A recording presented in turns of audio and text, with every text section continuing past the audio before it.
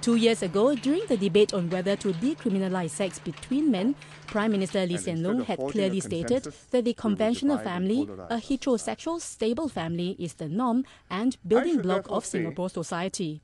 But the government also recognizes that homosexuals are part of the society.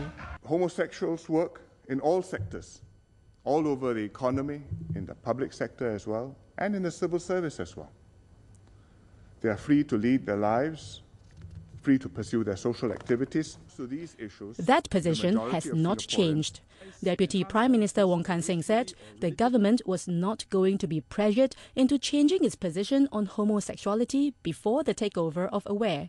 Nor does the government intend to change its position now that the old guard has recaptured Aware. He added as Singaporeans become more educated and informed and more space being opened up for people to express alternative views, there will be more tussles between people holding different points of views. If any group pushes its agenda aggressively, there will be strong reactions from other groups. As for the Aware controversy, the government was worried about the disquieting public perception that a group of conservative Christians had moved in and taken over Aware because they disapproved of what the organization had been doing. Hence, he was gratified that the National Council of Churches of Singapore issued a clear statement that it doesn't condone churches getting involved in the Aware dispute and that leaders of different religious faiths came out to reinforce the NCCS message.